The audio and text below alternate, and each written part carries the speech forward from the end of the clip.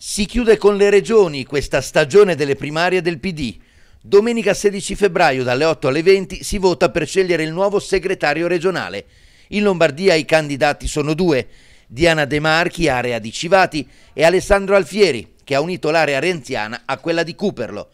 Anche stavolta le primarie sono aperte, possono partecipare al voto per l'elezione del segretario e dell'assemblea regionale tutte le elettrici e gli elettori che al momento del voto dichiarino di riconoscersi nella proposta politica del partito,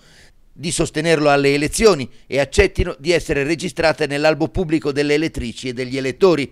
Per votare bisognerà devolvere un contributo di 2 euro destinato al territorio. Speriamo che vengano elettori iscritti del Partito Democratico, la fase nazionale certamente non aiuta, far capire cosa è successo a Roma è, è complicato, noi però vogliamo parlare di Lombardia, il progetto lo abbiamo chiamato Lombardia 2018, vogliamo vincere le prossime elezioni regionali, abbiamo vinto in tanti comuni della Lombardia, governiamo la maggioranza dei comuni capoluogo, adesso è il, è il momento di fare il salto. E noi dobbiamo anche cambiare il modello culturale dei nostri cittadini perché capiscano quale può essere la differenza se tu proponi un modello di sviluppo nuovo, ma bisogna lavorare insieme a tutti quanti e non chiudersi e pensare, elaborare da soli e poi dire questa è la proposta giusta, ma partecipiamo, mobilitiamo le persone, ascoltiamo le realtà competenti che abbiamo fuori e facciamole lavorare insieme a noi per costruire un progetto che sia condiviso da tutti.